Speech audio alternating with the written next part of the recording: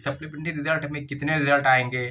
क्या जो अभी तक जो खबरें निकल कर आ रही है, कई न्यूज़पेपर के माध्यम से जो सोर्स से पता चल रहा है कि लगभग सैंतालीस सौ के ही आसपास जो है सेकंड मेरिट लिस्ट यानी प्रथम फ़ेज़ की बहाली को लेकर तो लगातार विरोध प्रदर्शन हो रहा था, उसको लेकर कि कितने बहाली आएँगी। तो सप्लीमेंट्री रिज़ल्ट की मांग को लेकर लगातार विरोध प्रदर्शन हो रहा था। हम लोगों ने परसों भी बीपीएससी ऑफ़िस फिर गर्दनी बाग के पास भी बीपीएससी ऑफ़िस शिक्षा विभाग और सारी चीज़ों पर मुझे लगता है कि मंथन हुआ है। तो पहली बार ये सब खबरें आ गई है कि सप्लीमेंट्री रिज़ल्ट आएगा। और जैसा कि सेक्रेटरी महोदय से भी हमारे हम लोग की बातचीत हुई थी, उन्होंने कहा था कि हंड्रेड टेन परसेंट गारंटी के साथ हम कह रहे हैं कि सप्लीमेंट रिज़ल्ट की जो तैयारी वो चल रही है। तो परंतु साथियों, लगातार जिस बात की चर्चा आपके माध्यम से हो रही है कि एक मामला बहुत जो काफ़ी सुर्खियों में अभी चल रहा है, वो है एन का मामला।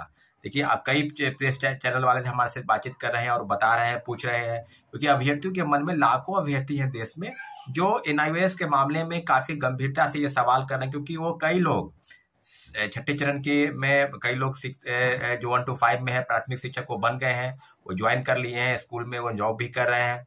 कई ऐसे हैं जो सातवें चरण में, यानी जो प्रथम फ़ेज़ की बहाली में एक लाख बीस हज़ार लोगों की नियुक्ति हुई, उसमें कई हज़ार लोग जो है डीएलएड वाले हैं।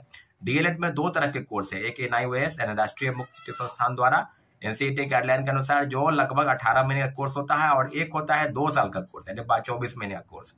तो सुप्रीम कोर्ट के एक फैसले में, उत्तराखंड के मामले में कई लोग गए थे सुप्रीम कोर्ट और सुप्रीम कोर्ट ने क्वेश्चन किया। इस मामले पर ये स्पष्ट राय दिया कि जो डीएलएड की डिग्री है, वो दो वर्ष, यानी 24 महीने की डिग्री मान्य होगी। इनोवेस के मामले में 18 महीने की डिग्री को हम अमान्य करार देते हैं। तो सारी चीज़ें अब स्पष्ट हो गई। अब ये बातें बिल्कुल अभ्यर्थियों के मन में है। कई लाख अभ्यर्थी हैं जो प्रथम फ़ेज़ की बहाली में जो है परीक्षा दिए कई हज़ार नियुक्त भी हुए विभिन्न संस्थानों में वो अध्यापन का काम भी करा रहे हैं। कई हज़ार जो है वो वेटिंग लिस्ट है यानी सेकेंड लिस्ट में है डीएलएड वाले एन के हैं।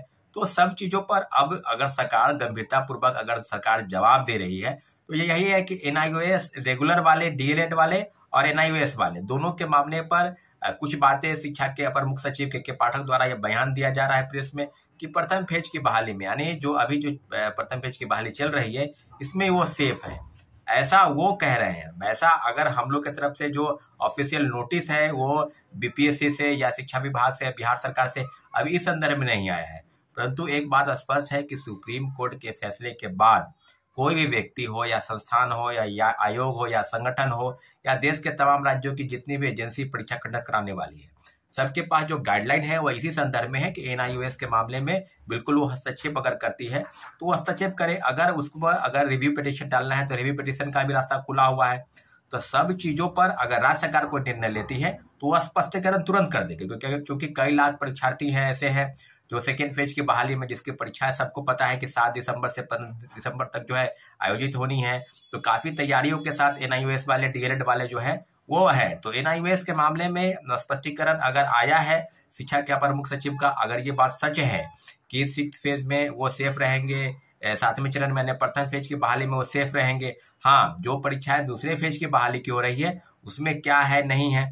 तो मुझे लगता है कि बिहार सरकार को निश्चित रूप से स्पष्टीकरण जारी करना चाहिए एन आई के मामले में सुप्रीम कोर्ट के फैसले पर देश के तमाम राज्यों में जो भी सरकार है वो ज़रूर कोई ना कोई नोटिस निकालेगी। एनसीटी की तरफ़ से भी नोटिस आना चाहिए कि एनआईएस में डीएलएड वाले का क्या मानने की डिग्री अब आगे होगी, नहीं होगी। परंतु इतना ज़रूर है कि केंद्र सरकार और बिहार सरकार, देश के तमाम राज्यों की सरकार जो शिक्षा की नियुक्ति करती है, शिक्षकों की नियुक्ति करती है, उस सब मामले में एन की डिग्री को कहीं ना कहीं वो मान्यता अगर दे रही है तो किस चरण में? परंतु बिहार सरकार जल्द से जल्द इस मामले में स्पष्टीकरण कर दे, क्योंकि लगातार जो चीज़ें हैं, वो प्रेस में कई लोग घूम रहा है, कई यूट्यूबर चैनल यूट्यूब चैनल कई लोग जो टीचर है, शिक्षक हैं, वो पढ़ा रहे हैं, वो भी चीज़ों को इधर से उधर कर रहे हैं, परंतु इतना ज़रूर है कि सुप्रीम कोर्ट के फैसले के बाद में कोई फैसला आता है। जैसे कि सबको पता है कि बीएड के मामले में 11 अगस्त को फैसला आया, उसके बाद क्या हुआ कि बीएड वाले वन टू फाइव यानी प्राथमिक शिक्षक में उनकी योग्यता को जो समाप्त कर दी गई,